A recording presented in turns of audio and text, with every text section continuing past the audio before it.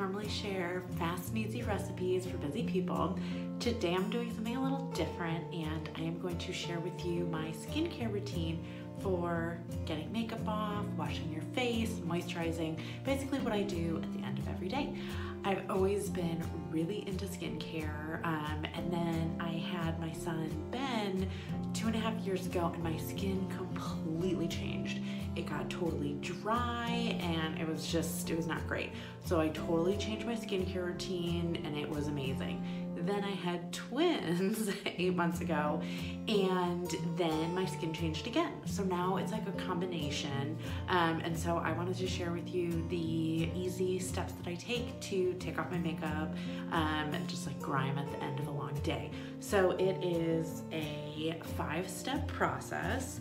I use a cleanser.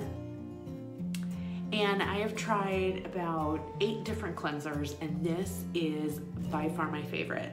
It is the Drunk Elephant Jelly Cleanser, and it takes your makeup off. And the step I do after this is cleansing, and it usually used to be the cotton swab was just like covered in makeup, residue after washing my face. This one, so much less. Then after the cleanser, I use a toner and I loved this um, Caudalie one so much, the sample size, that I purchased the full size one. It is, it is just bad, the best one I've ever used. It has like a slightly floral scent, but it's clean and it's just amazing. Um, and also I should mention this year I've been trying to get more into natural and clean beauty products. So I've been shifting over using up all my other stuff to use more clean stuff. Um, so after I do toner, then I do a serum and I love this Caudalie one. I also love this Shiseido one. Um, after that, then I use an eye cream and I'm totally not like brand or specific or I haven't found one that I'm like totally in love with. I use like a few different ones, um, trying to use them all up. If you have one you love, please let me know. Um, I also use this one sometimes and this one is from Lancome so it's not supernatural but it's kind of awesome. It has this like silver wand and then it's cold and you put it under your eyes and it's just kind of cooling and nice. Um, and so that is this one.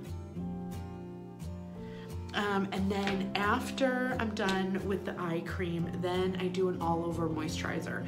And um, I use a few different ones. I use like a Tula one that I really like, but their scents are really strong. So just, you know, word of caution. I also am using up this um, sample size one that I like, and I use uh, this one um, from Aveda, which is nice, but um, if you're looking for like a really deep, moisturizing one, I would suggest either the Tula one or the Caudalie one.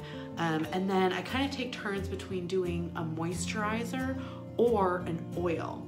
And now this oil is super expensive, but it's worth it and I use it only, you know, once or twice a week and it's lasted me forever.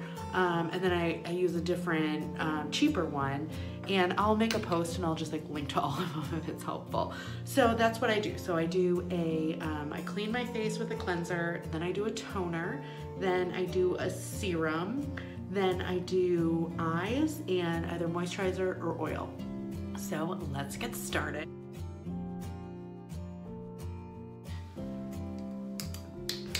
And I'm totally blind, so um, just bear with me.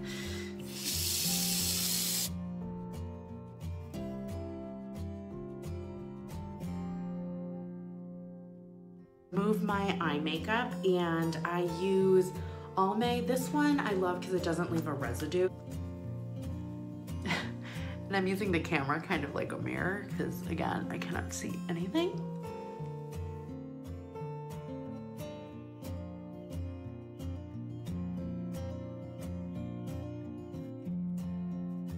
serum and I'm actually going to use, I take turns using them. I love this Shiseido one and you can get this at Sephora. Um, I think like Nordstrom's has it too. It's gone. So again, I'm totally not like brand loyal for eye creams. if you have one you love, I would love to hear about it. Cause like I feel this one works, but it's not like it's not life changing.